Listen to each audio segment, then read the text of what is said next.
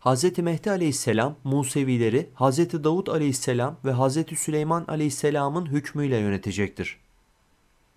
Hz. Mehdi aleyhisselam peygamberimiz sallallahu aleyhi ve sellemin soyundan olacaktır. Bilindiği gibi Enam suresinin 82. ve 87. ayetleri arasında peygamberlerin aynı soydan oldukları bildirilmiştir. Yani tüm peygamberler aynı soya mensupturlar. Bu nedenledir ki Hz. Mehdi aleyhisselam da doğal olarak Hz. Musa aleyhisselamın, Hz. Süleyman aleyhisselamın, Hz. Eyüp aleyhisselamın ve Hz. Davud aleyhisselamın soyundan olacaktır. Hz. Mehdi aleyhisselam zuhur ettiğinde kitap ehline şefkatle ve sevgiyle yaklaşacak, onları koruyup kollayacaktır. Bu samimi yaklaşımı ve ihlaslı tutumu bazı Musevilerin Müslüman olmalarına vesile olacaktır.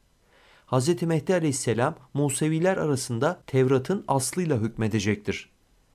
Ali İbni İbrahim, babası İbni Ebu Ömer, Mansur'dan, Ebu Übeyde'den bildirmiştir. Peygamberlerin ehli beytinden Kaim, Hz. Mehdi aleyhisselam geldiğinde Davut ve Süleyman hükümdarlığına göre yönetecektir.